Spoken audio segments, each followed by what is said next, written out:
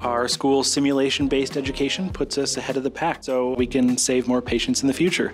Clinical simulation is important to us because it allows us to practice using the tools to give back to our community and our patients. Clinical simulation is an important part of our hands on experience. It builds our confidence as future veterinarians.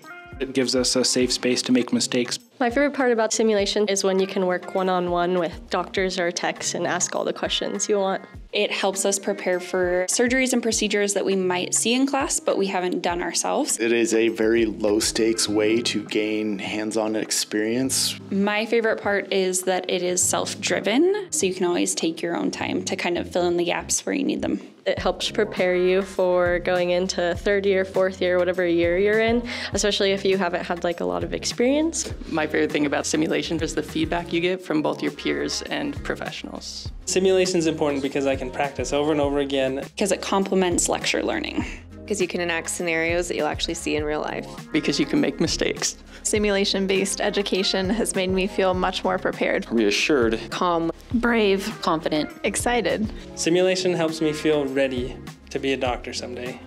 Go